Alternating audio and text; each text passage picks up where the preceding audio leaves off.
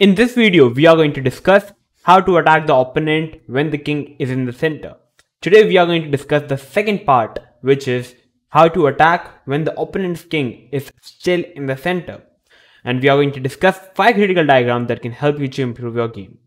I don't want to waste any further time. This video is going to be extremely critical to watch if you want to improve your chess level skill.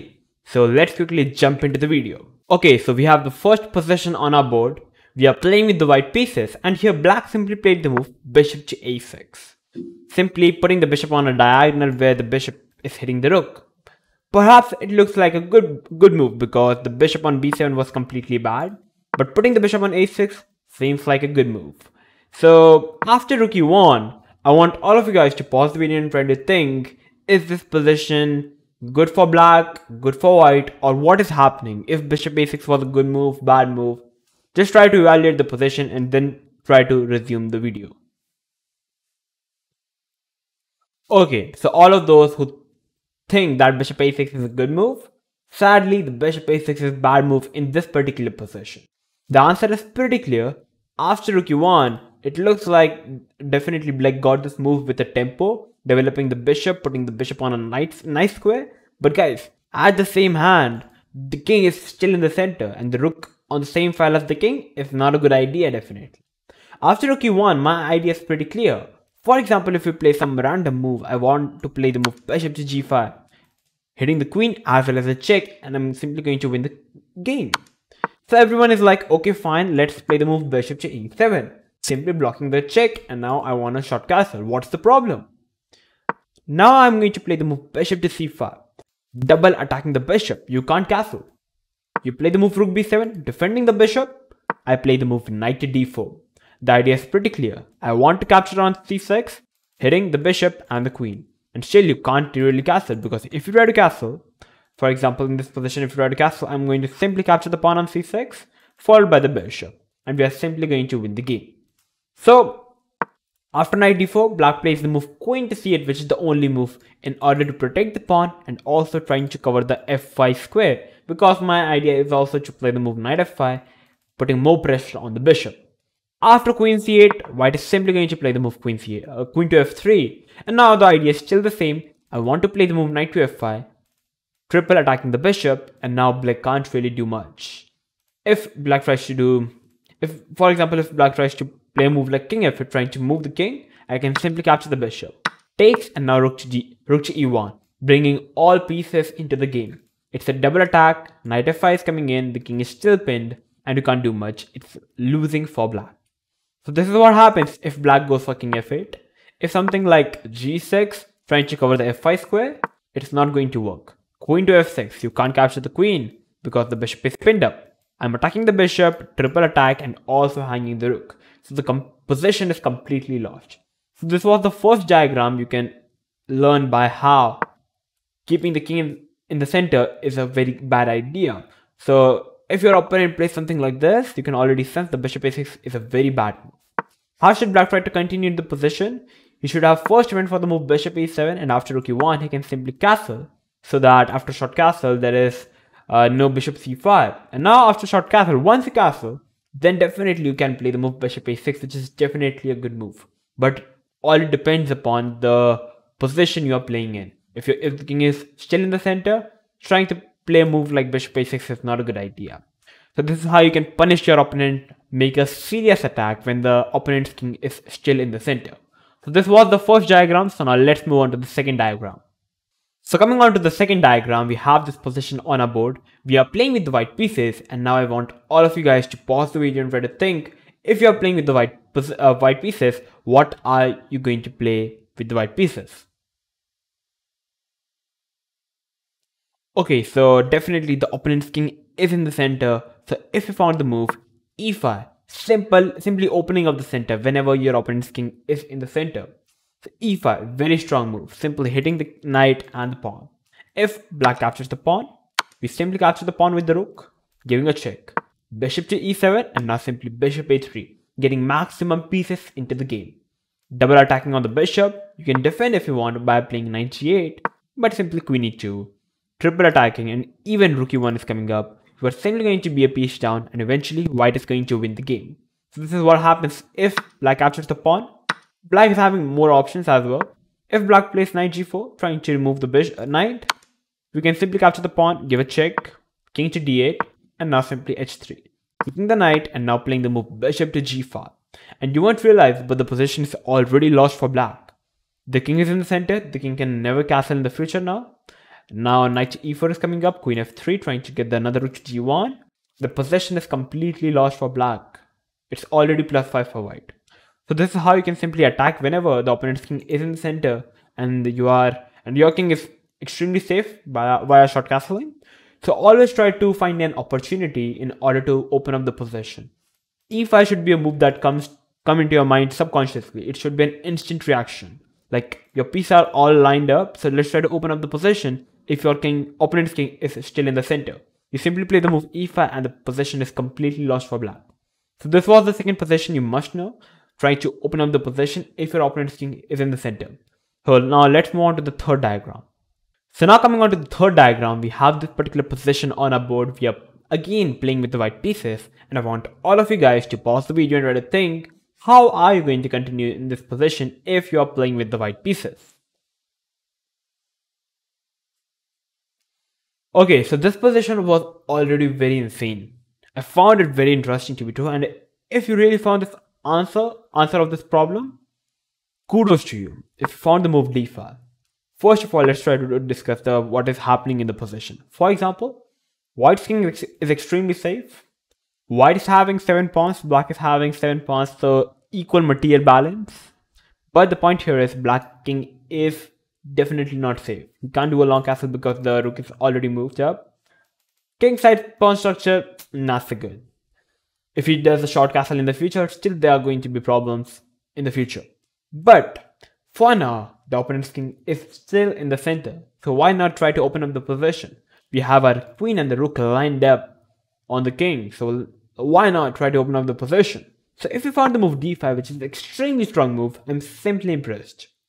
After d5, if black is, black is having three options, either to capture the pawn, either to push the pawn, or either to just leave the thing as, as it is. First of all, if black captures the pawn, we push the pawn to e4.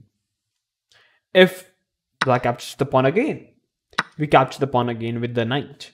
And here we are simply hitting the bishop and if the bishop moves, we can simply play the move knight to d6 check, followed by queen d8, queen e8, and the game is over.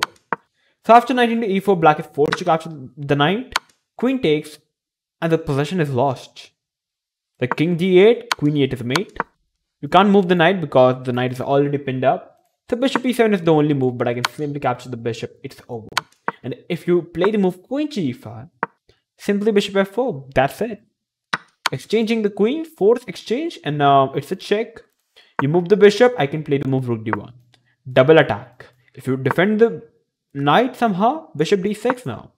Now what are you going to do with the bishop? It's completely lost. That is the problem. Even when the queens have been traded, the king is facing so much trouble because all the pieces we have is on the game, is in the game. And black is completely lost. So this is what happens if black goes for trading everything.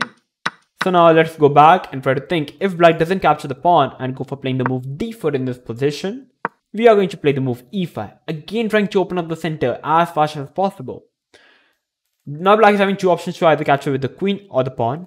If he captures with the queen, trying to trade off the queens, we can simply play the move queen to f1. Hitting the queen and the king. The queen can't move because the king is hanging. So it's eventually black is losing, going to lose the queen and eventually the game. So here if black captures with the pawn, we play the move knight to c4, hitting the bishop as well as the pawn. Black pushes the pawn. And here we simply play the move queen into e5, check. Again, black can't capture the queen with the knight because the knight is pinned up. So queen takes is a forced move, rook into check, king to d8. If the bishop comes in between, knight to d6, check, and black loses the rook simultaneously. Second to d8, but now comes the move rook to g5, double attacking on the knight. And after rook to c7, simply bishop f4, developing the piece, kicking the rook, and now knight to e5. A triple attack, and you can't do much. Black is again losing the material, and it's game over for black. So this is what happens if black goes for playing the move d4 in this position. So now let's try to discuss what happens if at the place of capturing the pawn, black goes for pushing up the pawn. After pushing up the pawn, white is simply going to play the move e4. And white is extremely happy because, first of all, white is having more space in the center. White is having the deep connected pass pawn. The f5 square and the c4 square is the most juiciest square for the knight. Maybe knight c4 or maybe knight f3, knight h4 or via um, the destiny is f5 and white is already very comfortable in the position. So this is exactly what happens if black goes for pushing up the pawn. If black goes for playing the move bishop to g6 going back with the bishop, simply playing the move e4, trying to open up the position, pushing up the pawns in the center because the opponent's king is still in the center. Bishop d6, knight to c4, trying to get a bishop. And here the position is already lost. It doesn't matter what, what you do. Uh, like I can simply capture the bishop or I can simply keep my knight over here. And if he tries to play some anything else, like bishop into h2 check, simply king h1, you go back with the bishop, I can play the move d6, fe6, you can already sense how bad black's position is. Rook d1, not developing the bishop to h6, getting the pieces in, into the game. Black is already lost, it's game over. So this is exactly how you can simply crush black by simply opening up the position via d5. This is how such strong move is d5. So if you found this move, kudos to you. So this was the third diagram, very essential one. If you found the move, simply amazing. So now let's move on to the fourth diagram of the day. Coming on to the fourth diagram, we have this particular position on the board. So it's basically a combination of every chess knowledge you have. So we are playing again playing with this position as white so I want all of you guys to pause the video and try to think how are you going to continue this position if you are playing with the white pieces. Okay, so as I said in the in the chart that this position is a combination of complete chess knowledge. So first of all, if you think that c4 is a move, like simply trying to opening up the position because the opponent's king is in center, it's not a good idea because black can simply capture the pawn, giving a check and also capturing the knight simultaneously. So c4 is bad. If you found the move queen a4 check, definitely it looks like one of the most natural moves, giving check starting with a check. But nothing is happening. Black is going to play knight c6 or maybe knight d7. Nothing is happening. Black is extremely fine. But if you found the move rook to b1, hitting the queen, it's a good move. First we are removing this queen from the from the attacking the pawn. And once the queen moves, now we are going to play the move c4, trying to open up the center. Bishop goes back, bishop to b4, again attacking the queen and most importantly, now covering the f8 square so that black can never go into castle in the future. Queen move, and now comes the move d5, again trying to open up the position. Pawn takes, rook to e1. d5 is a move which is an extremely strong move, as I said, and as I'm going to say in the future as well that always try to open up the position whenever your opponent's king is in the center and this position black can't really castle so it is the best idea to open up the center. E d5 and it looks like what we think here is after e d5 let's try to capture the pawn but guys it's not a good idea because here black can capture with the queen and you are losing your advantage. But playing rook e1 simply developing the piece sacrifice. Knight to d7 we simply capture the bishop and play the move bishop d3 check and the game is over. Black can't really castle and nothing is left. Black's forced to give up the queen and eventually the game.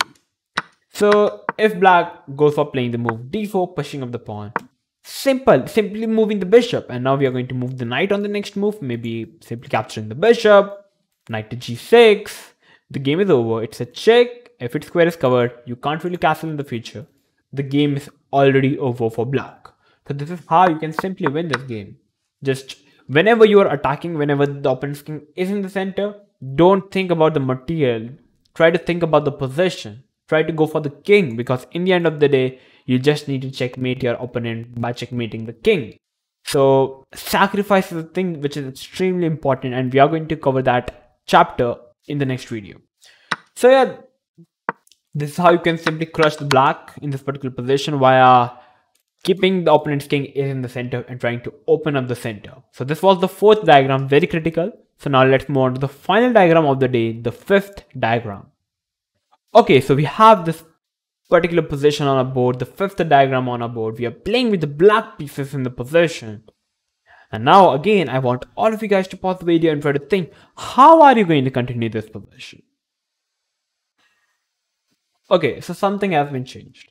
Opponent's king is, is pretty safe after short castling. Definitely, our pawn structure is extremely strong. But one thing is, our king is the one which is in the center. So should we try to castle in the possession? No guys, it's a bad idea. But everyone who found the move king to d7, simply kudos to you. All those who found the king d7, they got this idea that the center is extremely closed up. So there is 0% probability that the center is going to open up. So whenever the center is closed, keeping the king in the center can be a very good idea. So if you found the move king d7, definitely our idea could be to play the move queen d7, doing a long castle and trying to bring the pieces into the game. But can't I simply play the move king d7? And now my idea is to play the move queen g8, queen g7 and now simply bringing the pieces. So I'm simply saving the move. And my king is pretty safe in the center because white can't really open up the center in the upcoming future because of this particular pawn chain. So whenever the center is closed up via, via this pawn structure, you can always think of such ideas by keeping the, your king in the center because this is the particular area that where the king is going to be the safest. I don't think that white's king in on the by doing a short castle is pretty pretty safe because black is going to open up the king side on the next move. Whereas white can't really open up the center in the upcoming future. So the position is already pretty good for black in the position. Queen g8, queen g7, rook g8 and black is winning the game. Practically speaking now. So this is how you can even use this king in the center theme in your advantage whenever the center is closed. So yeah, this this was the these were the five critical diagrams that can help you to improve your game, trying to attack your opponent king. So if it helped you to improve your knowledge and skill, make sure to like the video, share this video with everyone, and make sure to subscribe to our channel because on the next video, in the next video, we are going to discuss how to do a how to do a 100% accurate sacrifice whenever you are making an attack on your opponent king because sacrifices are the things that are very essential whenever you are doing an attack in your opponent's king.